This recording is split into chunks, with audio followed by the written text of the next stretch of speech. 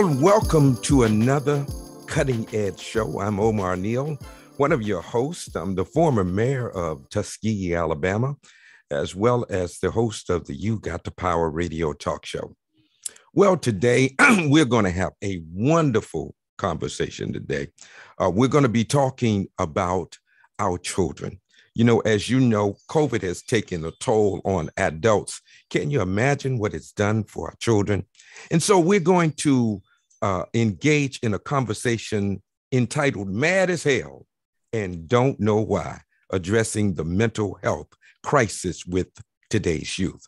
We got a tremendous lineup today. We have Jacqueline Hicks, who is a mental health therapist. We have Sharon Scott, who is um, uh, the uh, MSW school based therapist. We have Daryl Powell, who is executive director of the Alabama Council on Developmental Disabilities. And we have Roberta Taylor Jones, who is a crisis counselor, uh, all were with us today to discuss this most important subject. Now, you know, and when we're talking about young people in particularly, and in particular, and, and I want to make this caveat.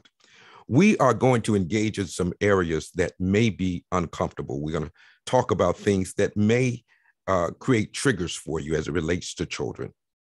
And so, what I think we probably need to do is to let you know that if we are talking about something that may uh, be disturbing to you to you because we're talking about our children feel free to just walk away and maybe come back when your emotional uh, space is is is more suited to uh, to address this issue.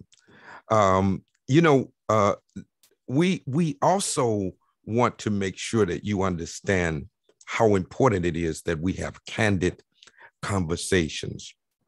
You know, one of the things that I have come to realize is that COVID has not only ravaged us in a, uh, a physical sense, uh, the deaths. We last month, I mean, last week, we uh, uh came to a million um, uh, people who died, a million people who died. And we are still trying to fathom what a million people look like. And uh, it was Dr Michael Osterholm that said that if you would just take a million names and you just started calling them one by one, it would take you an entire year if you called them 24 hours a day, seven days a week. I want you to think about that.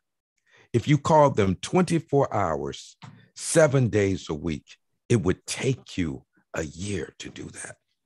Well, that's the toll that is taken. Now, think about this there's been mothers, there's been fathers, there have been grandparents, there's been uncles and aunts and cousins, all children who have lost their support system. M- many orphans, orphans have been created through COVID. That has taken a toll. And so we're going to talk about that. I'd like to bring forth uh, my uh, uh, uh, to talk about this. Um, uh, this is our cutting edge uh, salute to Mental Health Awareness Month. This is uh, Mental Health Awareness Month, and so we want to talk with our um, our special guests about mental health of our children. Now, let's get started because I can't get started without the person who starts it with me. He's my co host, better known as Dr. T, but he's really Dr. Stephen B. Thomas. And uh, he's the professor in, of the University of Maryland School of Public Health and director of uh, the Maryland Center for Health Equity. Ladies and gentlemen, please join me in welcoming my co-host, a brother from another mother, Dr. Stephen B. Thomas. Hey, Dr. T, how you doing? Hey, Mayor Neal. It's always good to be here with you. Uh, every Thursday on the Cutting Edge show, but this happens to be a Thursday that coincides with graduation. So you're talking about children. And I'm so old that those undergrads walking across that stage, they still feel like children to me. Not to diminish their path to adulthood, but to recognize what it means to pay it forward and to see mm. the enthusiasm with which they walked across that stage today. And several of them received their MPH degree, Master's in Public Health degree in health equity. Oh wow! And and and one of the folks who walked across that stage works with us. Oh wow! In the back room, making this show look great. That's Soraya Khan, who received her master's degree today. Let's snap for her. Oh, absolutely. And her family. Yeah, absolutely. Well, you know, and those, I, who, those who don't know her, they do know graduates. and I think we need to celebrate these young people because of the world they're coming into. Mm-hmm. Yeah. And how are. we have to prepare them and what a show like this will do uh, for that uh, preparation. The mental health issues, I'm so glad, Mayor, that you put a heartbeat on those numbers. The numbers are so large, you can be numb to them. Mm-hmm. And I think that we have to open ourselves up to the realization and the empathy of the loss that is out there. So, this is a theme that won't just be for a month as we move forward. It'll be an ongoing engagement around emotional wellness. Yeah. You know, we talked about moving from the pandemic to endemic stage, right? Mm-hmm. And so I'm of the opinion, based on just what I'm seeing, that COVID is probably something we got to learn to live with. And uh, we got to figure out how to do that. So, you know, that's that's a big thing. So we got we're gonna have a wonderful thing. Let's let's bring up our team because you know you and I, you know, they see us, uh, but uh, they uh, they they need to know that there are people behind the scene who are really making this thing happen. Let's go back uh, so that we can uh, uh, show our team. Uh, the cutting edge team behind the scene. There you go. Uh, the team behind the scene, uh, headed up by Meg Jordan, our technical director. Maggie Daly is our assistant technical director, and our graduate. There we go. Soraya Khan, who is our graduate snaps again for her with a master's degree, uh, social media and uh, communication guru. We have uh, Kimberly Kimmy Fleming, who is social media and uh, media curator, and uh, of course our sound sound designer is Elijah Pugh Jr., and uh, that makes up our our team. I saw you rocking to the beat, man. Oh man, you know I do it all the time, man. It's it's got that kind of it's got that groove to it, you know. Yeah. So so so let's let's uh let me tell you how you can uh, uh follow us. Make sure that you um follow us on Facebook, YouTube, Instagram, and Twitter. Uh, you can like, uh, subscribe, and uh, share uh, this show with the people that you know. And it's so important because each and every week we bring you a dynamic show with information that you can use. It's practical information. And we're talking to real people. Technically, we're going in the barbershop. That's right. And we're having a conversation. And that's what this is about. So authentic I'm so excited about it. Yeah, an authentic conversation. Don't forget that you can um, subscribe to our newsletter. It comes out each and every week uh, by um, uh, just checking that QR code out, just putting your phone up to it, the camera of your phone, and you can get our newsletter uh, each and every week. And once you get into the database, we send it to you automatically. So you'll always know what we're doing. And uh, one thing that's great about uh, our newsletter, it has uh, the previous shows in it. We have vignettes, uh, clips of uh, different guests on the show. Uh, it has always good information that you can use to keep you understanding what's happening in the context of public health. If, if you think about it, uh, the Cutting Edge Show is all things health and wellness. So mm-hmm. we deal with health and wellness from many perspectives. And so it's so important that we do that. Well, um, Dr. T, you ready to get going? I got my seatbelt buckled. well, you know, let, go ahead. let go me ahead, just say this: we we've said this before, and it's a, a running theme. Who are you sharing air with? Because the virus is spread by aerosols. I want to point out something for those folks who are who when we were on stage today, they literally had ultraviolet light on the stage where the faculty were, and ultraviolet light kills COVID in the atmosphere. Wow. We got to talk about the ways in which we can mitigate and make it available to our most vulnerable neighbors and family members. We know how to protect our community, and we need to make sure they know how to advocate for that protection. Absolutely. Well, let's let's bring uh, Miss Hicks up first. I, let, let's let's uh, let me let me introduce her. um, you know, I, I I I want you to know that uh, we went down to Alabama now. I want you know. you know, you know, I, I just love my folk up here in Alabama. Uh, Jacqueline Hicks, uh, master's uh, degree. Uh, she has her master's as well, man.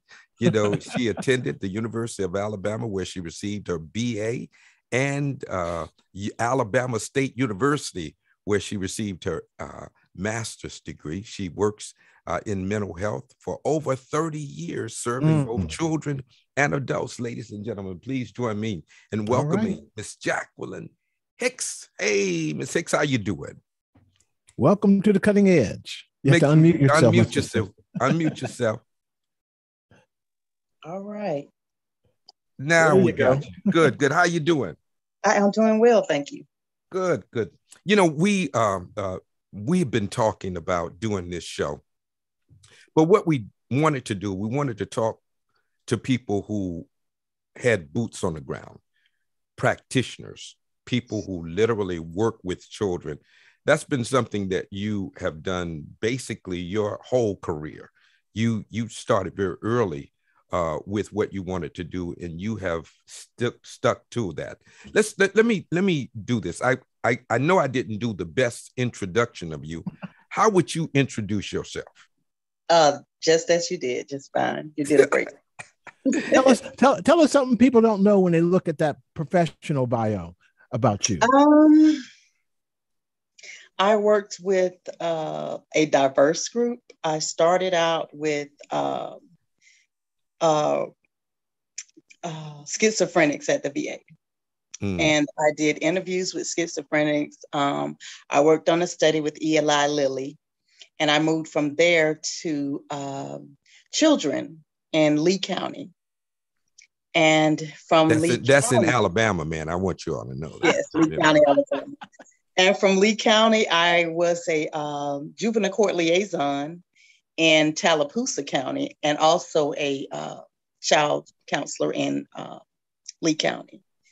Um, I stayed in the mental health field for quite a while. I went to uh, HRDI and worked with women who we were trying to uh, decrease the recidivism rate from them being a revolving door going back into prisons and jails. Mm. And so it was an awesome program where they um, put these women back into society with tools to help them to make it. And they put them back with their children and with families. But I still ended back up um, working with adults and children um, after mm. that. So that's I've just been there. You, you you've been in this space, and uh, that's why it's so important that we have you here. Uh, we got a whole lot to talk about, and we're going to get into this. Now, I want you to know this. We're in the barbershops and the hair salons. That's where we are now, right? So that's okay. how we're going to have this conversation, just like you would be uh, with with the way you got your hair did. Love it. You know that's wonderful. We go have anything goes. Every everything nothing, goes. We're gonna have a wonderful conversation today. Good, good. Uh, let let me let me bring uh uh Miss uh, mm-hmm. Sharon uh, Scott, you know, she's not you know any. You you hear Sharon, make sure that you say that properly, right? She she hails to us from Cleveland, Ohio. Buckeye. Uh, she, she uh, right, Buckeyes. you know, you all got that rivalry going on. Uh, she has uh, been in practicing social work since uh, 2014. She's a graduate of Cleveland State University in Cleveland, Ohio where her bachelor's degree is in social work. I'm not going to go through everything, but I want to let you know how um, how proud we are of her and how appreciative we are that she's joining with us today. Ladies and gentlemen, please join me in welcoming Miss Sharon Scott. Hey, hey. Miss Scott, this is how we clap. Welcome to the cutting edge. How you doing? I'm doing well. Good. Now I have I didn't tell you this uh, when we were behind the scene. But every summer, I spent my summers in Cleveland uh, on Kinsman, between Kinsman and Union, right? I know you know what that is, right? Right? Yeah. That's yeah. exactly where I spent every summer growing up, right? So, uh, so I have a connection, an affinity uh, for Cleveland as well, not just Dr. T with Ohio, right? You right? just so, had to fit in. It's yeah, okay. So, so we, are cool. So hey, tell us a little bit about yourself. Go ahead. No, go ahead, Dr. T. I just say Shay Ron, we'll make him an honorary Buckeye. All right. we can do that. All right. Tell us a little bit about yourself as well. Um, I am. I've been working with at-risk youth my whole career. Um, I started out at um, working on a stabilization and critical care unit uh, with mental health, and I moved on to work with some lovely children in Alabama. Um, lovely, just lovely. lovely. Yes, yes, great times, great times. Um, and then now I am a school, not a school counselor. I'm a mental health counselor at a school. So I work through the mental health facility with the education schools in the um, Union Springs in Alabama, from Ohio to Alabama. and, and and went all the way to Union Springs. Now you know we've we've had the superintendent of Union Springs, uh, uh, uh, Mr. Chris, Dr. Christopher Blair, uh, who's been on the show as well. So so uh, and and Union Springs is still like maybe 20 miles away from Tuskegee or less. Uh, you know, I can throw a rock to Union Springs. so, hey, you know, Mr. Mayor. Yeah. I noticed something in Miss Scott's bio right at the end. I'm dedicated to being the ear for the voices of those unheard. I hope I got that right. Mm. Sharon, you put that in there for a reason. What did that mean? Why was it important?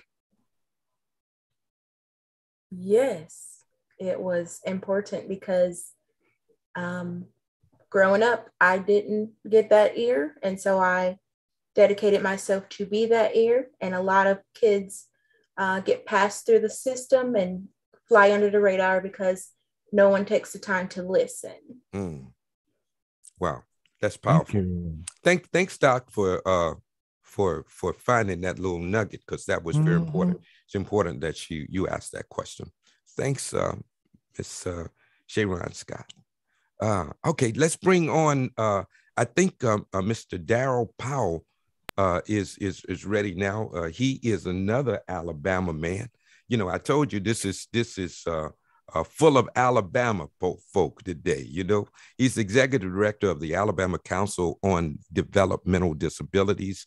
Uh, he served as the program coordinator and or executive director for a prof, private nonprofit organization for nearly 21 years. He has been uh, had the privilege to, uh, to also serve as uh, the professional development instructor and partner for the statewide human services service organization to improve service delivery outcomes by developing, applying, and promoting best practices, accreditation standards.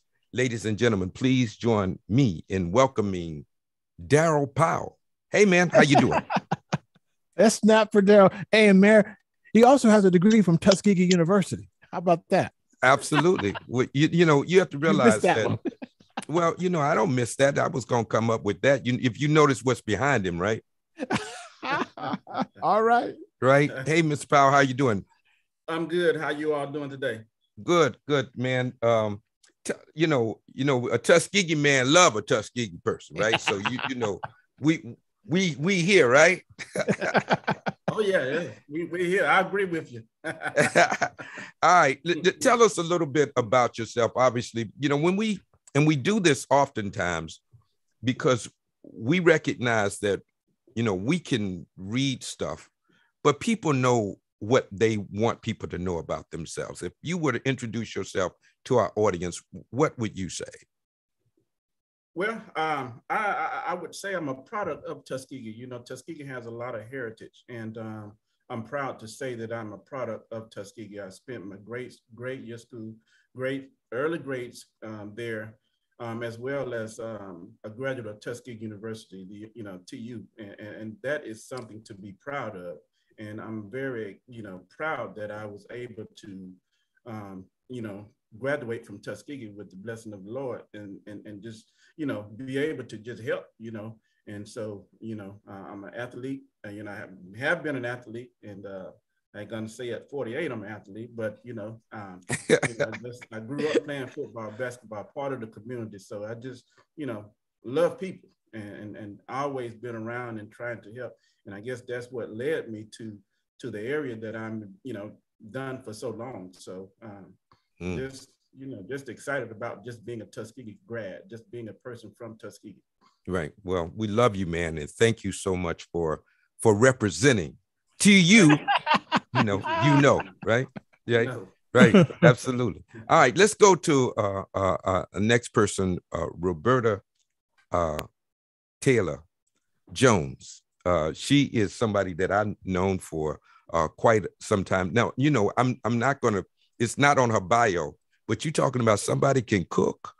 Lord, uh, you know, it's not that she, she, she, she, she, you know, she does all the other stuff. You know, she's Auburn University at uh, uh, uh, Montgomery graduate, uh, 33 years experience in the field of human services, eight specifically in mental health. We and I could go on and on. She spent time in Tuskegee, lived in Tuskegee for a while. I don't know where she lives now, but I know she lived in Tuskegee. She's uh, a friend of the family. Uh, disclosure, right? Uh, and of course, uh, she has always been passionate about working with children and families. Uh, ladies and gentlemen, please join me in welcoming Roberta Taylor Jones. Hey, how you All doing? Right. Welcome. Good welcome. evening. Good evening. how you doing today? I am well, and I'm glad to be here and glad to have been asked to be here. Oh, absolutely. You know, one of the things, and this is why this is so well, well this show is important to me and and special to me because each of you all are from alabama. And although you know this show is out of washington dc the maryland area that that that area up there this is really a tuskegee alabama show okay today right? Because because that's how it is right? So we're so happy about that. Uh, uh miss uh taylor jones tell people about you i'm you know i told them that you you cater right right? And yes, I do. And I kind of fell into catering by way of uh, organizations that I was in uh, over the years and having, you know, every meeting in the South, you have to have a meal. uh, so not only do you have to have a meal, I try to do a little bit of all of that. Um, so I do thank you. So hopefully everybody hears this and I get some more business from this. Absolutely. That that can happen. Hey, hey, Mayor, I just want to say about the the Alabama and Hollywood Squares.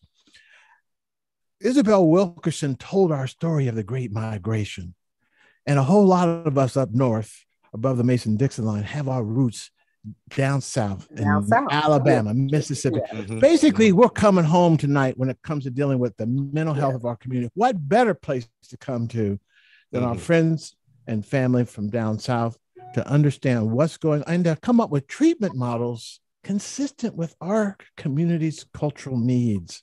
Mm-hmm. So I wanted to ask uh, uh, Ms. Taylor, and actually all of these, this is a tough area to spin your career. I don't know if they come in on career day and talk about careers in mental health versus all the other firemen and things that they teach kids. So what spurred you to take this path for your career, Ms. Taylor? Well, for me, um, I've had several challenges throughout my life. Um, so I too, like Mr. Powell, am a people person. Um, I love people. I'm very interested in hearing what people have to say. Um, I'll be honest with you. When I started my uh, educational career in college, I I wanted to be in business. Um, however, and you know when you're in college you take several different classes um, so i kind of you know started like well i think i want to change that career path and that's what i did um, mm. however uh, i i'll be honest with you when i my teachers used to take us on field trips which they don't do much of now in college mm-hmm. and uh, i went to a particular place and um, we were there you know, for maybe about an hour, and I vowed that I would never work there. It was just going to be too challenging. It was a mental health facility, and the particular program that we we were in, um, they were severely uh, MR, mm-hmm. and I said I, I couldn't do it. Well, MR MR MR stands for uh, mentally retarded. Okay, that's for the mm-hmm. audience who may not know. Mm-hmm. Yeah. So, with that being said, four years later, guess where I ended up? right back right. there at that facility. Right. Right back in that very same cottage. Mm. Um, so again, that goes into that never say never thing. Ever. Right. Right. Um, but it's uh again, all the experiences that I've had, um, whether it be with the mentally ill, mentally retarded, mentally challenged population, or whether it be with at-risk population, or the juvenile court system population, uh, we're all in the same bucket. Yeah. Let, let, me, let me move into this conversation. Thanks, uh, uh, Dr. T, for, for teeing it up. Uh, no pun intended. Uh, but I, I want to talk a little bit about, and I want to bring Mr. Powell in on this, man. You know, um, young people have challenges just naturally growing adolescence, the developmental uh, changes that go on. But in the midst of a pandemic where there's so many people are in influx, this has to exacerbate uh, those challenges. I, I want to talk to you from what you are seeing in terms of our children who are experiencing this kind of destabilization due to COVID. That from Mr. Powell? Yeah, Mr. Powell. Uh, that's yeah. Okay. Uh, yeah, that, that's fine. Um, well, one, um, being where I am now, you have to be able to relate. You got to be able to understand where that particular youth or whomever is coming from. And sometimes, you know, people kind of lose focus or lose track because you cannot relate to a particular kid for whatever reason. Mm-hmm. And not able to to to relate kind of frustrates both parties, the kid and the person that's, you know, trying to work with the kid. Mm-hmm. So you got to first understand where that kid is coming from, understand and, and, and get to know that kid before you start doing anything. Because if you don't know a kid, it's, it's hard to, you know, judge a book by its color. You know, once you open up the pages, you may see something totally different. So mm-hmm. just getting to understand, getting to know that kid. One of the things that I used to utilize, one tool that I used to utilize when a kid come into my care was hold up a blank sheet of paper, you know, after he or she has been through whatever they've been through throughout their life. Everybody then threw them out, don't want them, don't, you know. So hold up a blank sheet of paper and say, hey, you know, what is what, you know, what color is this paper? What's on this paper? And they like nothing. And and you know, people have already given them up. So my advice, you know, my information to them at that particular time was anything put on this paper, any writing, any mark is placed on this paper, you're going to put it on there. And, and, and of course, what does that mean? You know, I'm not judging you based on where you've been. I'm based on judging, you know, looking at where we are now and where mm-hmm. you're trying to go. Because mm-hmm. you can have a bad life, terrible life, and decide to turn your life around and do all the right things. So, mm-hmm. you know, just just relating to the kid alone, you know, can get you a great distance with the particular kid. And, and I was one of those ones who always worked with the worst through the worst. You know, Ms. Mm. Jones would tell you, you know, we worked together for many, many years. And for some reason, I was always connected to those kids who just didn't have a father, didn't have a home, didn't, you know, everybody has given them up. So mm-hmm. that's how I was able to help a lot of the kids that I've helped because I connected with them. And, and a lot of them, you know, I was in some of their shoes at right. some point or another, you know, because right. everything that I've gone through, I had to get to where I am. And sometimes the kids got to understand you are not in this alone. You may not have a mother involved. You may not have a father, but you are not in this alone. So mm. I'm going to help you. I'm going to, you know, support you to get where you're trying to go. And you'll be amazed of how powerful that can be working with any kid, the worst of the worst. And yeah that's how I've been able to to rate. That's just one way, you know. I've yeah. got a pocket of tools that could, you know, just, right. you know, yeah. any any area that I need to go to. Well, that's why being in it so long, uh, uh, Dr. T, it ain't where you're from, it's where you're going. It ain't what you've done, it's what you're doing. And although you see my glory, you don't know my story. And that's what Dr. Uh, I call him Dr. Powell, but but you know, uh, that's what Mr. Powell just said. Said he's that's I capsulated what he said and put it in in the street terms, right? All right. Uh, but you know, let's go ahead. Just, just one other thing that he said, I don't want to miss that when you're making that relation, connecting, you have to share something about yourself. And, and, and you shared your vulnerability with these young folks so they know that you have been places they have been. Did that open up opportunities for connecting? Yes, huge, huge. Um, you know, oftentimes, you know, in the counseling field, social services field, you know, you, you got to be careful about self-disclosure, you know, and they're going to tell you, teach you, you know, you don't want to self-disclose, you don't want to say this. But if a kid feel like you don't know anything about where they've been, it's going to be hard to help that kid. So you, you, you have to self-disclose some to a degree. You got to be cautious, you know, it, what you disclose. But if you've been through a particular situation, you can give a kid a clip of what you've been through to let them know that you have some knowledge about it. You know, one of the things I, you know, I, I was was is a grief counselor, and I used to counsel kids with, you know, who've lost their mother, uh, you know, no, you know, death, whatever the case may be. And, you know, although I had the experience, the the the, the education and the knowledge, but it's you know, I lost my mom in December of 2020. Mm. I've been counseling kids all of these years but when you actually go through it mm-hmm. and you've lost a mother yourself, right. you can relate on a different level. It's a whole know? nother level. and, yeah. Whole nother level. And, and mm-hmm. one of the reasons why I was able to help the kids who, and when I didn't lose a mother, was because I was honest with them. I said, look, I don't know what you're going through. Mm-hmm. I haven't experienced that, but I can tell you that I'm going to help you get through this. So they understood that. But when I lost my mom, now, if I go back and counsel a kid who has lost their mom, it's going to be on a different degree, different level because now I've experienced. So when a kid hear that, hear you say that, and they know that you've gone through it, they'll sit down and listen to you. They'll get, they'll have a whole conversation, you know, with you because they know that you're feeling some of the pain that they're feeling. Thank you. Wow.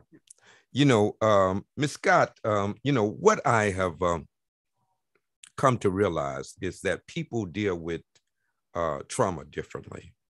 And, um, you know, based on what you're seeing with young people today, have you uh, had the occasion to see any particular reason or any particular way that these young people are processing the kind of uh, social isolation, social distancing?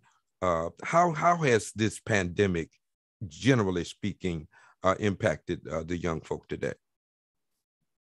Um, we have seen a rise in mental health cases due to the pandemic because they're not able to go hang out with their friends or just be out and about um, with friends. And when the schools were shut down, it was it was like everybody every man for themselves and nobody mm. knew you know who they were and so they would be get together on the game or something like that to be able to connect but to have that face to face be able to hug their friends play with their friends joke with their friends they didn't have that and so it was a lot of isolation and depression coming from it anxieties because they don't know what's next they don't know what's happening their parents can't tell them what's happening because they didn't know and so we did see a rise in um, mental health needs, um, especially in the elementary um, schools mm. due to the mm. pandemic.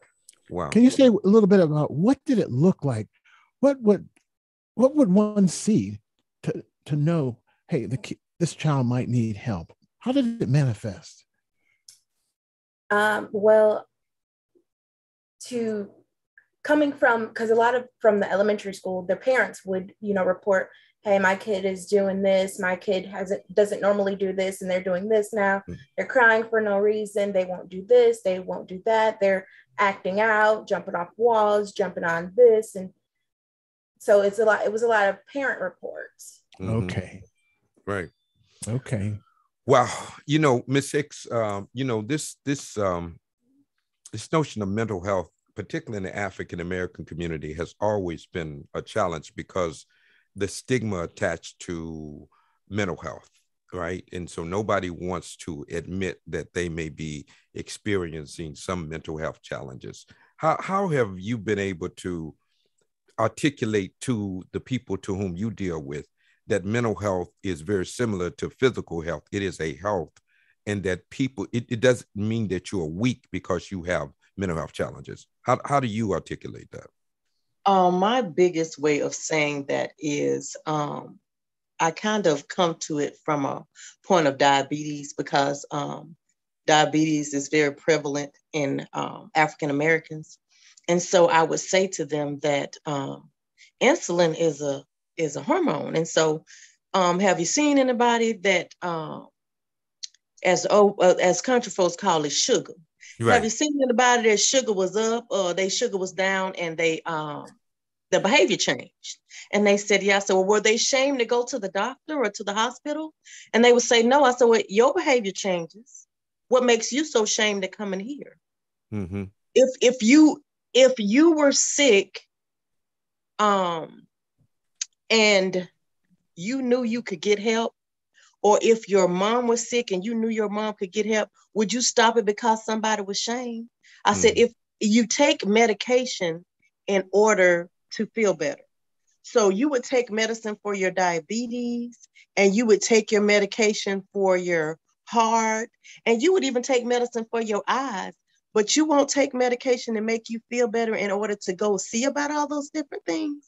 Hmm. And so that's how we kind of started off and and that's how they're able to give it back to their families that if I if I can make myself feel better um, enough to go and see about myself or make myself feel better it's it's not that you're crazy and that's what they get a lot of crazy and so I said um, tell me what crazy is and they give all kinds of answers and I said you know what crazy is doing the same thing each time and expecting to get something different from it. Mm-hmm. So I would have them, I would hit my chair.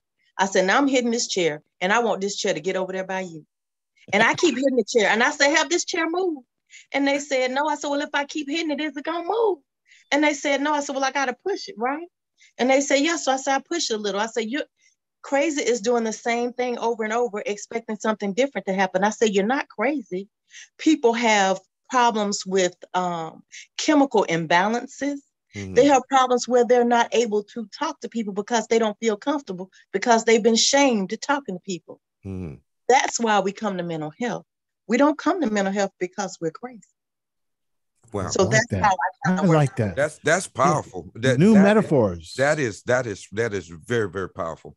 Uh, I'm gonna I'm gonna do one thing. Let's let's do the uh, uh, emotional check now. Let's let's kind of do the word cloud and uh, get an emotional temperature of how we feel collectively.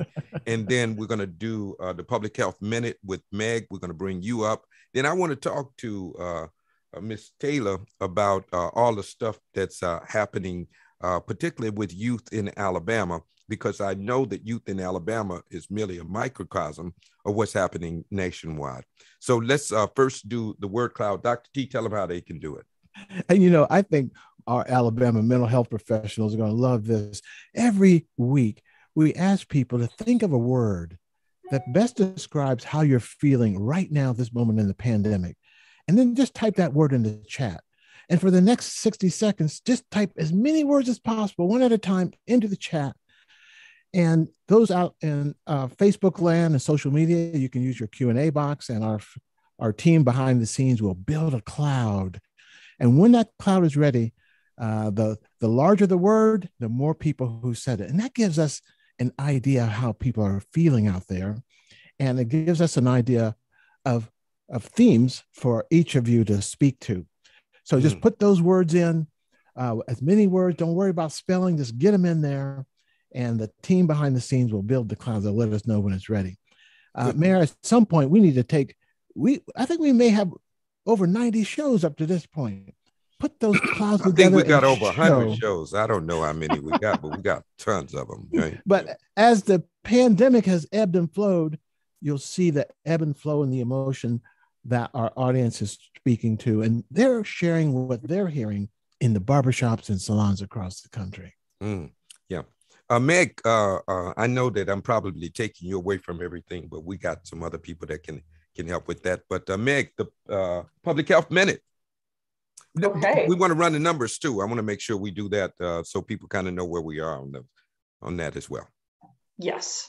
Um, okay. Thank you, Maggie. Um, okay. So this week we have 700,000 new cases of COVID 19. This is the highest single week of new cases since February when we were coming off the Omicron wave. Um, we've had 2,000 deaths this week from COVID 19, um, and we have just 451,000 people who've been fully vaccinated for the first time in this pandemic this week. Um, this week, 988,000 people got their boosters for COVID 19. If you are over 50, you can get two boosters. If you are under 50 and above 18, you can get a booster as well. Um, next, Maggie. That's just my plug for boosters. Um, Mayor Neal wants me to boost the booster. I'm trying out here. It's um, important. It's important. It's important. Go ahead. Yes. So this brings us to 82.9 million people in the US who've gotten COVID in the past two years plus, because we know we just hit that marker. Um, we are at a million deaths still um, for COVID 19. Um, so we are at two thirds of America fully vaccinated, and we're at one third with their boosters. Um, okay, so the Public Health Minute this week, um, we are continuing on our series on long COVID.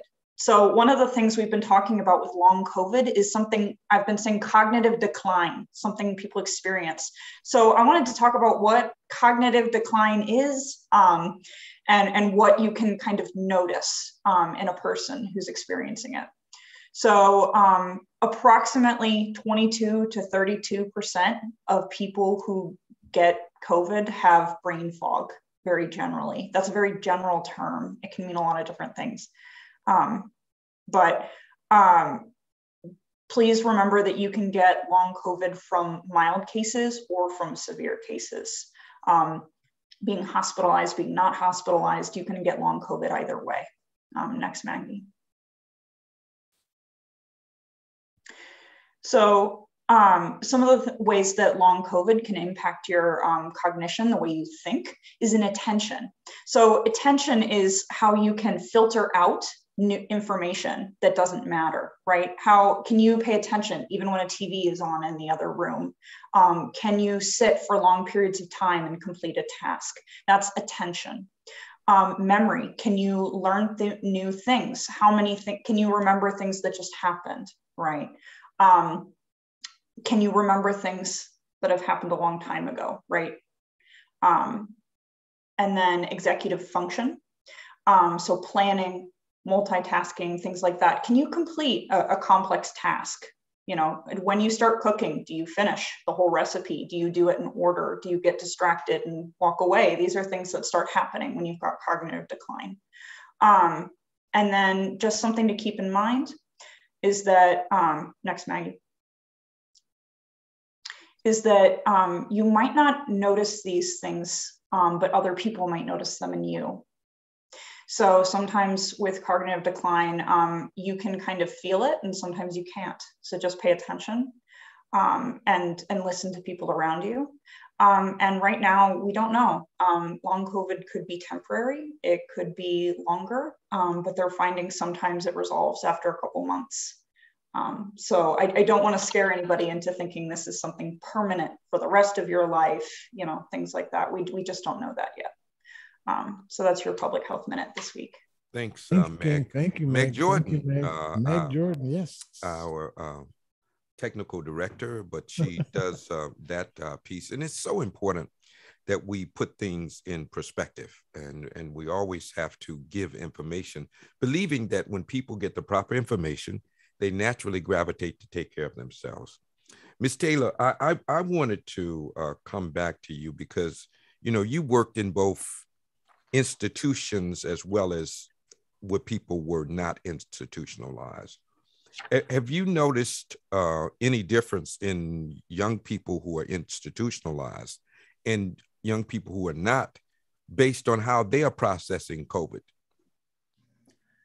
Well, um, sad to say um, that many of our children that have been institutionalized um, learn learn learn from the next one. Um, and these habits that they're learning uh, are not always uh, positive habits that they're learning. However, the ones that are not institutionalized, um, they also have what we call social media. So mm. they're learning as well from others. That might not be the most positive thing. Um, yes, social media can be a, a great advantage. Um, we're on social media now doing something very positive. However, um, as we all know, um, things have been taken to the left, as they say, and the children, they the teens mostly, but but now it has it's getting a little younger. Um, they're looking at they're looking at more things, experiencing more things earlier, and a lot of times you don't have the parental guidance at home. Mm-hmm. And if you go to the ones that are in the institution, most of those children lost their parental guidance. So then mm-hmm. they depend on others to become their surrogate mothers and fathers. And I'll be honest with you on that too. The turnover rate in the institutions are so high that most times there's no type of linkage or um, any kind of uh, positive. You're talking about the personnel. You're talking about the personnel. Yes, right. yes, the personnel that work with the children, with the youth. Right. So, so if they don't have any kind of positive um, linkages, then nine times out of ten, um, unless they make a decision that this is not the life they want to continue to live, then they usually take that other road. Uh, the ones who are not in institutions, yes, they have a better chance. However, again, if you don't have that parental guidance or those mentors that are providing positivity in their lives, they too will end up in the same path. Yeah. So so basically they're, you know, you know, I guess young people are are getting influenced whether or not they're inside an institution or outside of institution. Exactly. They're still being influenced. They're still being influenced. Yes. Wow. And, you know, and and and a lot of times I you know in in Dr. I'll, I'll take what mm-hmm. you're saying but a lot of times is that these young people are lacking parental guidance yes. right and that could be due to incarceration rate uh, it, it was a lot of uh, young men who don't have fathers because of the high incarceration rate of particularly african american men right and yes. also you have drug addiction where people may be present but not present really and uh, there are just a multiplicity of things where they're not getting the proper parental guidance that can exacerbate these issues. So they go out looking for uh, relationships and influence in places that maybe are not as positive as they should be. Is that, is that right? I want to, I do want to say something in regard to uh, whether it be the male or the female figure in the home. You may have a two parent household However, just because you have that two parent household, it does not mean that both parents are effective. First of all, parenting mm. is a team effort. Second of all, you may have the parent in the home who is physically there, but not emotionally there. Mm. I have several people who will look at a child and say, Well, what do they need a mentor for? They have a mom and a dad. But if the mom and the dad are not emotionally present, it's like not having parents at all. Wow. So so you, so just because you have a mother and father in the household doesn't mean that you have a mother and father in the household. Exactly. Wow.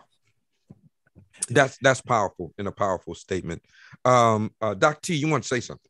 Well, you know, as I'm listening to my my my my, my new friends and colleagues from Alabama, I, I remember growing up where uh, my family came out of the South, and they would have fictive kin. And in other words, people who weren't blood relatives, but were who who were who were parental in the role they played. And I'm wondering, as you're about to meet some of our barbers and stylists from around the country, the role they play in saying the right thing at the right time, helping right. a kid make a decision.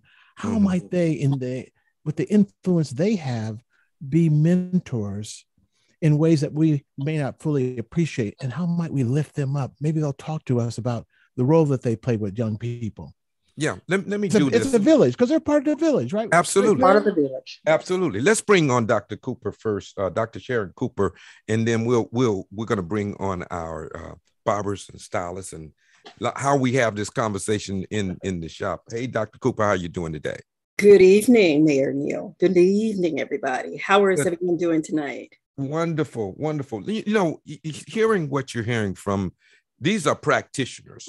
That's why I, I, you know, and I know I love the academicians, right? I love y'all that's in the universities and all of that. These people, this is where the rubber hits the road, right? Each one of these individuals deal with children directly, mm-hmm. right? They they have to they see their pain on a, on a direct level. It's not theoretical. This is this is real, right? And so so talk to them about what you've heard from them and what you gleaned from this conversation. Oh, wow. This is incredible. tell us a little bit about who you are Yeah, t- well, yeah, let's do that first. Uh, good evening, everyone. I am Sharon Gibbs Cooper. Uh, my mentor is Dr. Stephen Thomas, and I've worked closely with the HAIR Project, uh, which is part of the uh, Center for Health Equity at the University of Maryland. And I have the privilege of doing my capstone project on uh, looking at ways that community health workers can bridge the gap uh, that so is so prevalent in uh, commu- vulnerable communities uh, in bridging uh, that gap and connecting them to not only health education, but health services to address areas like cardio uh, metabolic disease, such as hypertension, diabetes, to address uh, COVID 19, among other things, mental health, and just getting individuals connected to the appropriate setting at the appropriate time.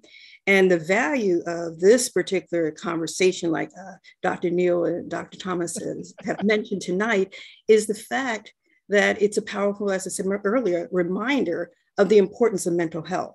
But Mm. also the other arm of that is access. Um, I work uh, closely with uh, diversion programs for not only adults, but for children. And those programs are mental health courts, uh, truancy courts, uh, drug courts.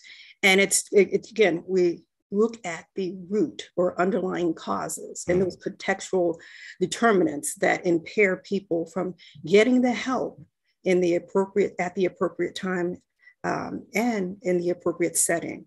So it's so important that this information is out there. But the other aspect or arm of that is ensuring that individuals have access. And that's the beauty where there are, you know, Andres and Miss Reynolds, Miss Jenkins, Katrina, and all those folks who work in the community because meeting people where they are and opening up those doors and having that conversation and helping to you basically help to eradicate those barriers that people perceptions that people have about connecting with different services whether it's healthcare mental health uh, employment and so forth Hmm. Thanks so much. Um, our, Dr. Cooper has been with us uh, for I, I don't know when you started, but it's very early in in in this in this space, and we are so appreciative to you uh, because every time you bring such insightful comments that, that capsulate right what it is we are working with. That's why I asked you to do that today. You have a way of doing that in such a, a profound way. Dr. T, let's go to the word cloud. Then I'm going to bring on some of our uh, stylists and barbers. Well, look at this word cloud. Wow. Amazing, wow, amazing, wow. amazing. I can't wait to hear what, what, what some of the folk see here. But Mayor, what do you see? Well, the What do you first thing Mayor? that I see is blessed and encouraged, right? Because Uh. th- the larger the word, the more people said it, right? And so if you think about it from that vantage point, you know, there are some people who are exhausted. In in in like Fannie you Lou Hamer say, I'm sick and tired of being sick and tired, right? right? That's right. But there are people who feel connected, Doc, who feel favored. You know, they they say in the church, I'm I'm I'm blessed and highly favored, right? Right. So so there are people who feel blessed to be here, even in the midst of of this crisis in this pandemic. They still can feel favored because they're still here to even have this conversation, even in the midst Mhm. of them dealing with children who are having multiple challenges, they still feel favored because they are there to be a blessing to somebody else because you are only blessed to be a blessing to somebody else. And so that's what I see in, in essence. Hey, Mayor, the little words around the side are also important. And I see the word humbled. That's right. Mm. We've talked about that before about the the academics, the the scientists who need to admit when we don't know things, uh, to say that, to to humble ourselves. Uh, uh, Mr. Powell gave us an example of how to self-disclose appropriately. That's making oneself humble. Mm. I think we need more of that.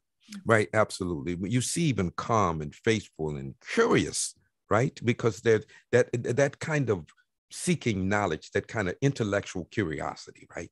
N- Trying to know more about it. And and so it's it's so it's it's really it's really powerful, man. And I'm so happy that we were able to get a snapshot There of our collective feelings. And that's what the word cloud is. Thank you so much. Uh, you all I- can take that. And I- down. And I hope somebody uh, tells us what chameleon means in there. Oh, See that little chameleon? Well, what's that? You So know, this you- you- conversation is you going to morph into different things. You become a mil- chameleon. You gotta, you gotta, you gotta, you gotta, you know, adapt, right, to wherever you are. It's a, it's, it's a, it's a spirit of adaptation. You know, I- I- Dr. T, you know, hold up. Now, you know, you, you, you got to come down south to really understand that. You know, so I, I'm schooling you on. Well, um, somebody better school me on some Southern cooking too. I'm gonna That's do what. I'm talking about, man. You, you hold, hold up. Now I'm gonna tell you this. When you all come down, now, now I want to invite everybody that's on. I want to invite y'all down to Alabama, and we're gonna have Miss Taylor uh cater it, right? There we go. Absolutely. And and and then y'all make sure that uh you because you're not gonna want to go home. So we're gonna get y'all houses to be down here. Because once you eat her cooking, you're not gonna go back home. Right? You're just gonna stay down here and say, hey, can we just hang out with y'all? Right, right. So so that's what we're gonna do. Hey, let's go, let's go to Sandra Jenkins. Hey, uh, Miss Jenkins, how you doing? I'm doing pretty good. Good, wonderful. All the way over n- n- what they say in the proximity in the Yeah. area of Philadelphia. How, tell us a little bit about you and your uh, what you do, your shop, and all of that. My name is Sandra Jenkins. I'm the owner of Naturalist Hair, located in Montgomery County section of Philadelphia, which is just a stone throw uh, way of Philadelphia. So many of my clients are rooted, deep seated in the city of Philadelphia and expands all the way out to Delaware, New Jersey. Some folks maybe come in from Chicago, friends of mine that I used to fly with. Um, years ago, I flew for uh, major carriers. And I have to say, Mr. Powell, your backdrop is outstanding. that uh, Red Tails was uh, very much a, a great inspiration to my son who aspires to become a pilot. So All um, all, of that, all of that was done right in Naturalist, all that, Alexander. And that, that whole understanding of nurturing, you know, our children goes deep down and beyond just in this, this salon. That, that is something that you instill within. So right now, um, I must say I'm very proud that I'm uh, approaching near uh, the completion of the uh, mental health first aid um, to become a community health worker in the state of Pennsylvania. Let's give it up for her. Wonderful. She's going to training now. Absolutely. in mental health first aid. All right. Absolutely. That's so wonderful. Yes. Go ahead. Go ahead. Yeah. Yes. So, um, you know, I would like to say that um, our youth is so incredibly important, and especially them are returning back from the pandemic. Um, there was a relationship that we had to instill and build on Zoom. We had to do that, and some of these youths that we um, that that naturalists uh, we're that we nurture, you know, generally they do have parents. They have parents that you know are uh, very much involved in their lives, and as Mrs. Um, um, uh, Hicks was saying that you know you may have some parents who really are just not really that much engaged in their children for some other reason or another, and they look out for that village. And I must say that um, I uh, uh, very much, um, you know, just really take deep in heart of the children that I um, that I nurture, and uh, and and they they are uh, great young people. Um, their interest in their self care is really something that they want to learn. They want to learn the importance of self care, and and starting that right there in the salon is key. Good. You know, mhm. Thank you so much. Um, uh, let's uh, thanks so much, uh, Sandra Jenkins, all the way. I, I, you know, y'all y'all got a whole lot of stuff going on politically up there, but I'm not going to. Oh, you, oh yeah. You, yeah. you know, y'all y'all. You know, I, pray I, for us. I, pray for y'all because Oh, I got I see a mess coming. I see a mess on its way. Oh my goodness. Yes, oh. Lord, must, Yes. you know, oh Lord, I you know. Rocky oh, Road. What I yeah, do all of this, you know. Ooh. Yes. Oh Lord, something about to happen up in that area. Oh yeah. Uh, Oh that yeah. areas they say, hey, let's let's let's go all the way uh, over uh, to um, let's go down to Arkansas, Pine Bluff, Arkansas. Uh, Oh, uh, Dorothy Reynolds is here. Dorothy Hey, Reynolds Dorothy. is with us. Hey, Dorothy Reynolds, how you doing? Unmute yourself, Dorothy. Yeah. I'm doing fine. Thank you for asking. We- We've had a lot of rain here, but we carried on anyway. Uh, Tell us But, tell us about your event.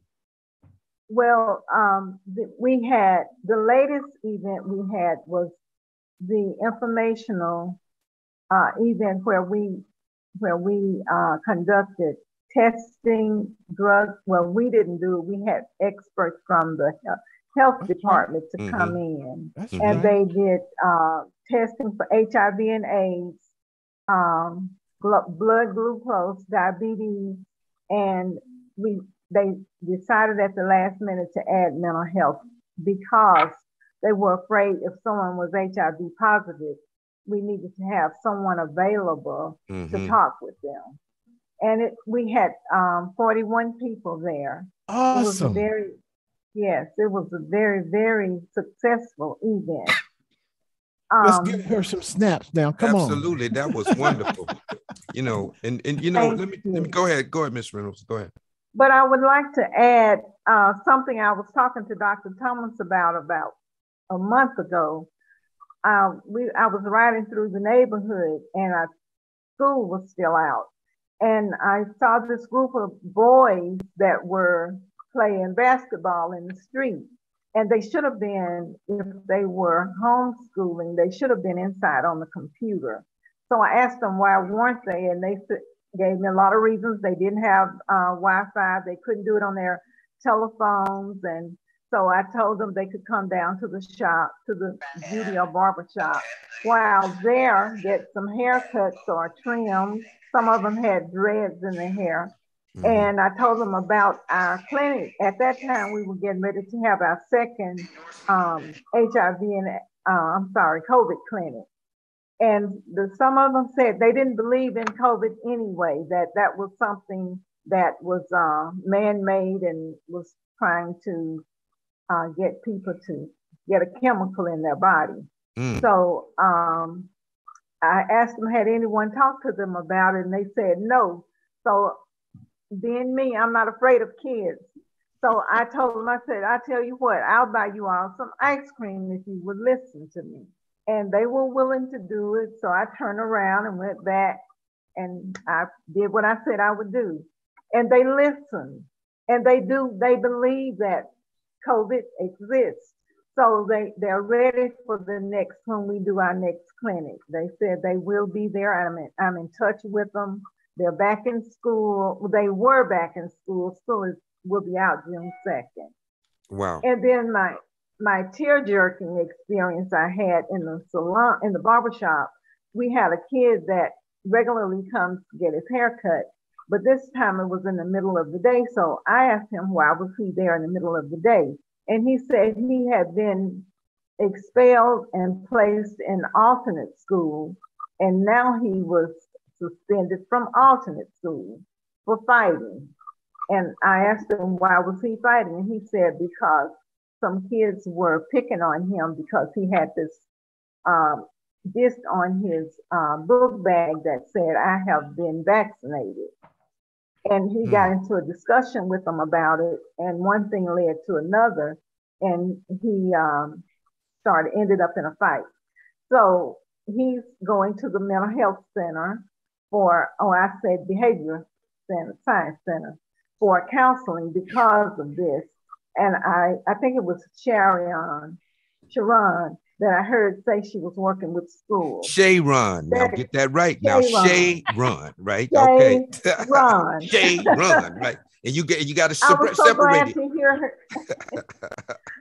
Shay Run. I was so glad to hear you say that you do that because before I retired, that was one of the programs that we administered funds for for kids. It is so needed. Um, whatever the reason, if if they're assigned to those programs, they are so needed. But the fact that he was he he said that he was fighting for COVID for his belief in COVID. You, you know, you know, let, us let's let, let, let's, un, let's let's unpack that, Mr. Powell. Absolutely. Let, let, let's unpack that because you know, down south in Alabama, you know, you are determined. People determine your political affiliation where you whether or not you wore a mask or not. You know, I mean, how how much is peer pressure in terms of the conversation about COVID? And and all of you all can chime in on that. Has this been anything that you all experienced, whether or not people were for it or against it, and or whether or not there was any conversation amongst the young folk about whether or not they were for it or not? Have you all heard anything of like that? Yeah. Um, all, often and all the time, you know, and, and we living in a time where you know, if, if it's not hitting home, people really don't it, it don't affect them. And, affect. and and one of the ways that I've kind of brought some understanding or some awareness was talk about some real scenarios, real life situations. And I think many of us may have been affected by COVID in some way, shape, or fashion. It may have been directly related, it may have been someone extended, but we have all been affected in some way, shape, or fashion. And so when I start to talk about the real life situation that has happened and the real names that it has happened to, mm-hmm. people they're more apt to listen versus oh it ain't real because I've heard those same stories. It's nothing. It's man made. It's this and it's that. But in reality, you know, COVID is serious, and mm-hmm. and and we all have to understand it, regardless whether you 5, 10, 18, 50, whatever. It's real. And when you start relating how you've been impacted and infected by how it's affected your life. Because see, prior to my mom passing, she had COVID. So that's a whole nother light, you know. Mm-hmm. So, you know, now the doctors say it wasn't COVID that she passed from, but in reality, it stemmed sepsis or whatever the case may be, it stemmed from COVID. Mm-hmm. So mm-hmm. just telling them, you know, hey, this stuff is real, you know, and sometimes you may have to take a different angle but in you, you, we got to do whatever it takes to get people to understand that it's real. And people are putting masks away right now, and COVID is it's ramping back up. So right. we got to understand in order to make it, you, we, first of all, we got to you know consult with God, make sure you know talk to him about it and let him know so that he knows to you know he understands where we're coming from. And then you got to protect yourself. You know, God gives us wisdom. You know, if you're gonna be in a crowd of people, and you got to get the kids to understand, because kids don't want to wear masks. You mm-hmm. know, some mm-hmm. adults don't want to wear masks. But if that's gonna save my life, if that's gonna save somebody else's life, you got to, you know, you got to be able to shift gears and, and give it to them the way they need it. You know, and, and sometimes if we if we stuck in a box, only have a one way of delivery, we lost. Right. We got to have more than one way to deliver the message. And sometimes we can go to school for, you know, get master's, PhD, and only have one way delivery, and we're not making it nowhere with that kid. Mm-hmm. That's why I mm. mentioned early on, I have tons of tools in my pocket because you, you got to be able to shift gears. You know, there's no yeah. one set way that's going to help every child. So that's that's a little my intake on it. well, you know, you know, it's interesting. I want to bring Ms. Hicks into this conversation as well, because um, you know, it's it's obviously confusing for children uh, when they see uh, basketball and they see a stadium full of people and nobody has a mask on, right?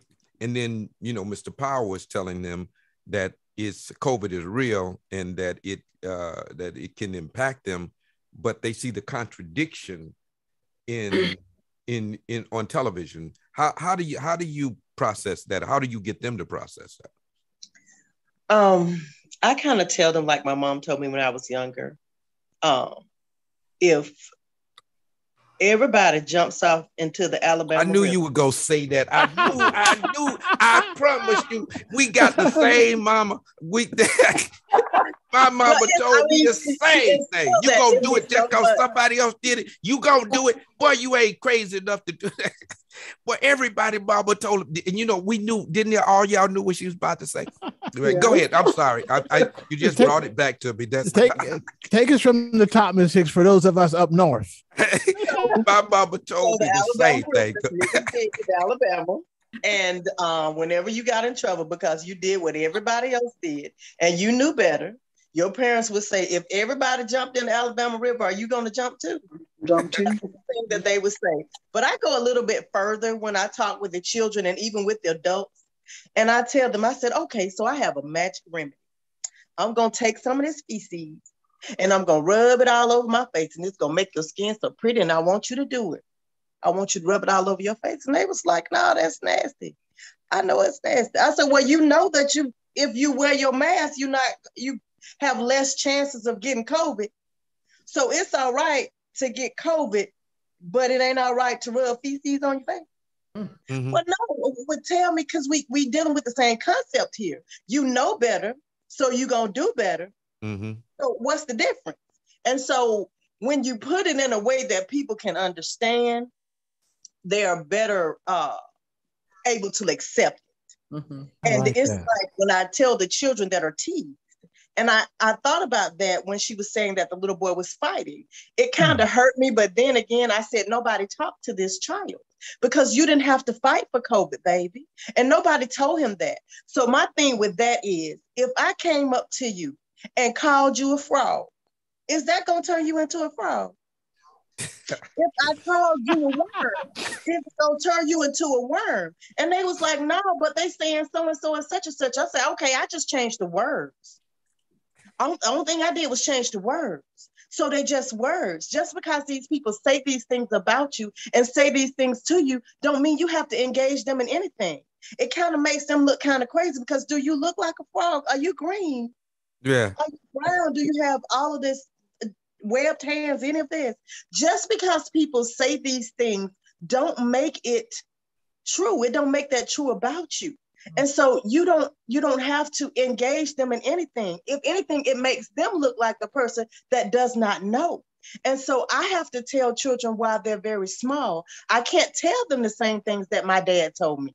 My Mhm. dad used to say, "Sticks and stones may break your bones, but words were never heard." I And I heard that one. That, that- you, but, but that that made it all the way up. Ohio. That one made it all the way up to Ohio. I mean, because I've heard that one too. So and those words hurt me all the time. I was teased all the time. I was a very skinny, pigeon-toed young lady with big eyes. And and I, I had a problem with that. They teased me and teased me until he said, either you're going to live with it or you're going to cry about it every day. You need to get yourself together. And so I learned to live with it. I learned that I can turn my own feet out and walk Mm. with it enough turned out till they would um walk with it enough turned out until they turn back in. They turn the right way. Mhm. And I learned to love these eyes. And if I say it about myself, then that takes the sting away. So if you see my car, you will see big eyes on the tag. It Mm. takes the sting away. If I say it about myself and you say it about me, it ain't gonna hurt me. right. And just because you saying I got big eyes, is that gonna make it any smaller? Well, I think they big, beautiful eyes. If that's the case, Hey, I think your eyes beautiful. If you ask me, but you know what, Doc, Doctor T, you you hear when Miss Hicks talk about when I talk about they putting it where the cows can get it, you're right. Right? And the other thing she's that's the kind of conversation we gotta have with folk. Real conversations, right? I think it's just beautiful. The metaphors, the the the the reframing, and how Right. simple it was. And also, I want to just go back to uh, to Miss Dorothy Reynolds for the audience to know she's a warrior, but she didn't start out like this. She went up to youth with dreads playing basketball in the street, and a whole lot of adults would have turned away afraid. She went up to them, she engaged them. Now they look to her. She opened up her shop to them. That's what we have to do. Right. And Dorothy has done that in Pine Bluffs, Arkansas, and is now the model for the whole state mm-hmm. out of this program. all yeah. these shops can be safe havens and harbors for our young people. Yeah. Let's let's go back up to the, the state that's got all the mess going on. Stacy Ruffin. Philadelphia, oh, Pennsylvania. You know, Lord and mercy. I, I, we pray for y'all. You know all of that. You know, and and and I, I you know I don't want to say anything about the game. I know you all y'all are a little upset about that. Uh, it didn't work out the way you were at the game, so we appreciate you coming with us. Yeah. I, I, I, I didn't want to hurt your feelings by bringing it up. Though. I know. That's right because I have a great day. I'm I'm at the actually the summit. I'm at the Black Enterprise Summit in Philadelphia. It's the first time in two years. So, but I just wanted to just do a synopsis. I'm listening to you guys. I was excited about coming. I was a little late because I was just coming mm-hmm. from the summit and um, at the convention center here in Philly. But um, just just tapping on what we all talking about the mask. Um, I probably could count on one hand how many people had a mask and these um, on today. And I just thought about it. I was one of the ones with a mask, but I just thought about it. I said, man, I said, I just listened to us and every Thursday. And then I listened to how smart and how um, rich these people are, but nobody had a mask on. So I wonder, like, are we really tapping into our people about how important it is to wear masks?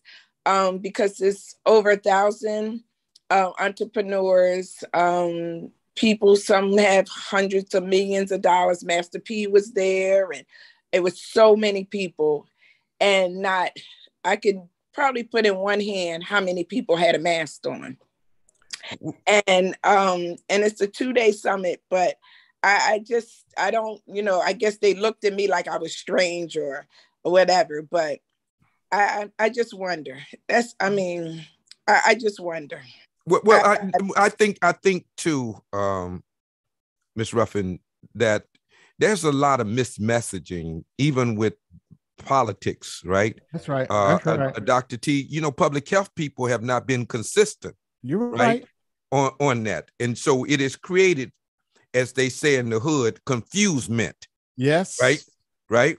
Right y'all done started some confusement in it's public health people too that that's that's a part of that and so that's when you right. tell people they don't have to put on masks that's right then people stop putting on masks they think they're okay when they aren't no right and and and so you know that's that's part of it so we gotta we got to uh really rethink how we're going to message message uh, you know this thing uh, to mitigate COVID spread, right?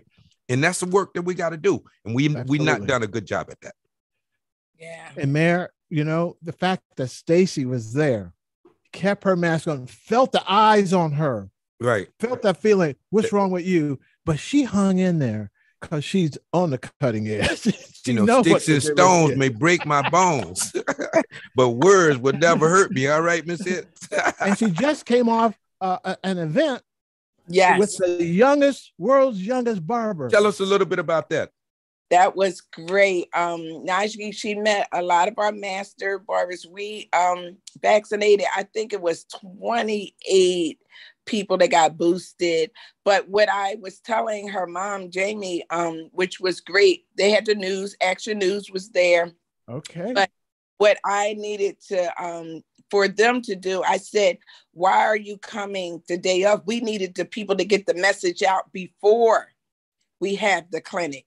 So we're going to do it again and mm. um in July, but we want to get the message out before with the news. I that said was that was a good turnout. Needles and lives, yeah, lives. Absolutely. Yeah, yeah, absolutely. That was that was fabulous. That, hold up, let's stop and give it, you know, Let's give him some snaps. That's right, Stacy. Come on you now. know, we we, we we we we we have to really celebrate. Yes. Because because that's a life that you could have saved.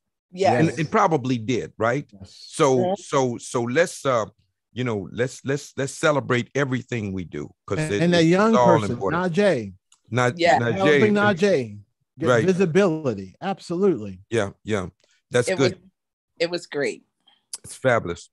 Good, good. Mayor, can you believe we got 10 minutes? Yeah, man. And I got to go all the way to, Al- yeah, I, I, I'm going to go next to Alabama, go down to Georgia, right? Right? Mm. Because I got to bring up uh, Andre mm. Ruff, uh. Russell, mm. who is, uh, you know, he, he, now, now for, for my Alabama contingent, you know, he is a brother who owns a barbershop in the Atlanta airport. Okay. Now, the only now, one. Hey, hey, hey, hey, hey. right? right? Hey, man, how you doing? Unmute yourself. Unmute yourself. He's still muted. Let me tell you. Yeah, while he's unmute getting yourself. unmuted. Let me tell the people. One of his shops, he did a thousand COVID vaccinations. Okay, Andre, Ala. You- uh, you good Atlanta. now, There you go. You're on. Sorry yeah, good. Hey, man. Uh, how are you guys doing today? It's great to see you guys again. And I want to be quick since we only have a couple of minutes. Um, I, I want to do more with the mental health thing, but right now I'm talking to my Emory people, and they are on uh, uh, high blood pressure, cholesterol, and um, so uh, I'm trying to get them to do some things that actually I want to do. So I'm going to need some help, I think, from Dr. T, but even have a, a our friend, our technical advisor, to uh, send me some stuff so that I can talk to Emory and present it to them because uh, I'm limited now to whatever I can present at the airport. And um, I'm going to need her help, I'm sure, on that. And Dr. T has always put in the work. I don't, I don't know if you do you know our new mayor just because his name is Andre. Uh, do you know? I do know one thing. As Uh-huh. these health professionals and systems have discovered the barbershop, it's very important that that they just don't come in and run over things. What did Andre say? I want them to come in to address issues I see. Right. Yeah, they're coming in with things that they know from all the epidemiology. I get it. But one of the things we want to do is make sure they bring the services that Andre recognizes the community needs from his vantage point. And we will bend the arc, Andre, for you to get that. Okay. All righty. And uh, other than that, I'm not going to say anything crazy today. Wow. You There know- is a God. But Andre, the, the guys who would young kids who would sweep the hair up in the barbershop that he mentored, they're now adults and they have come back to his shop to say, thank you. Oh, yeah, by the way, the there's a couple of them over at Emory. I forgot to say that. Sorry. Good. Andre, you know we love you, man, and, and you can't say anything crazy, man. We we you we, we we we joke and all because this is the barbershop, right? Right. Right. And we can have that kind of conversation in the barbershop. Thanks, Andre, uh, for for Thank you, for everything. Thanks. Thanks for all the Let- good work. Absolutely. Uh, you know, let, as we get ready to to close up, uh, I, I can't, I really can't thank you all enough um, for uh, for sharing uh, your thoughts. Uh, obviously, we're trying to figure this out, believing that we are all possessors of some truth, and as we bring our truths together, then and only then do we get closer to the truth, right?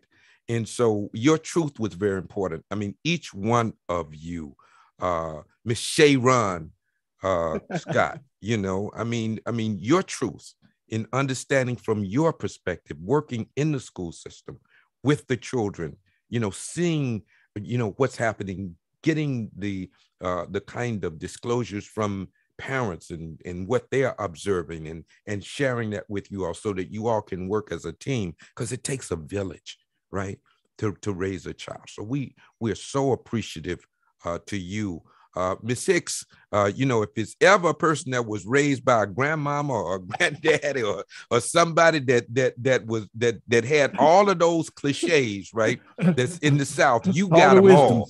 You got that. Those, tho- man. Let me tell you something. Those are nuggets. Yes. You, know, you really should write a book, Miss Hicks. Right, Bring on a with show. everything that mom and daddy told me, right? right? You know, because all and collect them because they because because we all got them, but we forget them, right? Mhm. But they are just as relevant today as they were when they told you. Yes. Right. Take a pamphlet. I'll put it in my shops. Absolutely. and and and and and certainly uh Miss uh Roberta Taylor, thank you so much for for who you are. You have always been, you know, a, person who is a servant. You know, you have Dr. T, have you ever known somebody who's always just there for people? And mm-hmm. I don't know if she has no in her vocabulary, right? Because she's always helping people, and people know she's going to help them. If you asked her to do something, and if she can do it, she'll do it for you because she believes that she's there to be a blessing to somebody because you're only blessed to be a blessing to somebody else. Mm-hmm. I can right? see she's fearless too. Right, right. And so she's she's been that kind of person. I have this is personal observation. This is mm-hmm. not something, this is not hyperbole. This is personal observation. And and and and Mr. Daryl Powell, uh, a Tuskegee man. Um, how, what can what can I say other than this brother got the power? you know, you know, I mean, you know, you got the Tuskegee Airmen behind him, which and, and for those of you know that I'm I'm the marketing director for the Friends of the Tuskegee Airmen National Historic Site Inc. as well. And so we are approaching Memorial Day. And so we give honor and homage to the men and women mm-hmm. of the Tuskegee Airmen. And for him to have those uh, that behind him uh, is is is such a powerful message, man. Thank you. We love you so much, man. Thank you for your commitment to the to our young people. For all of those years, man, you have you've been there, right? And you have uh, nurtured them uh, with your wisdom, and so we are we are so appreciative for that. Dr. T, um, what what what we got to do is more of this. Uh, you you you say interdisciplinary conversation. Yes. Yes. Right. Right. The the the academics got to get to the people who are working in the practical area. That's right. Right. Right. You know, we know that we have some people on. Uh, I want to acknowledge um, Katrina Randolph uh, who has been a part of, of our for long for for my, um, Michelle Lamb. Yep. Uh, Thank you so much for uh, introducing me. Yeah, it's absolutely. Tell people about you, uh, Katrina, while while we are while we have. Hello, everyone. For those of you who don't know me, I'm sorry I can't be on Facetime. Um, I have a daughter um, getting her prom fitting, but my name is Katrina Randolph. I'm the owner of Trey Shades Hair Studio in Capitol Heights, Maryland. I'm also part of the Hair Network with Dr. Stephen Thomas, and I'm also a certified community health worker through the state of Maryland. And she don't play. And she's a play. wonderful person. And she's she, she's and Dr. T can say this. I can't say this. She's the short hair queen. That's what they say. That's what they say. They say if you got short to no hair, she's the person to go to. Thank you well, for the introduction. Absolutely. We love you so much. And for all of you Likewise. who have joined us uh, on uh, this cutting edge, it's wonderful. Dr. T, I normally uh, close it out, but I'm going to give you a few words to, to close it out. I do know that you all have had your commencement today. And, and for those people who graduated, Soraya Khan, who is uh, one of our own, uh, the behind the scene team, congratulations to you as well. Dr. T, you can have the last word. Well, you know, I must always throw the ball back to you, Mayor. But one of the things I observed tonight was how our my new friends from from from Alabama shared their personal story. And Miss Hicks, when you came out and shared your story of how you got teased after Miss Dorothy talked about that little kid, she called that her tearjerker. You opened up in a way and showed how you can take something negative and turn it into a positive. You didn't put it on your on your license plate. I just love that. And so we saw some techniques here that they're that they have brought to the table because of the practice. And I would say we need those codified in a way that they're now part of the training of the next generation health professionals. And I think the barbers and stylists have communication skills that, that are expert. And were you to watch them in action, they would have implications for training mental health professionals to serve our community better. And as you heard, uh, one of our stylists is completing mental health first aid training. There are a lot of trainings for lay people that we can bring into the barbershop training and increase the skill in the village. And I think, uh, Mr. Mayor, that's how this show can help make a difference. I'm gonna throw the ball back to you, brother. You don't have to, because it's uh, 7:30. And the only thing we can say from this point, from all of you, you know this, these two words. Remember that I love you with a perfect love. But more importantly, remember this you got the power. Thank you for joining with us on this segment of The Cutting Edge, and we'll see you next week. Same time, same station. Have a wonderful day. Bye bye.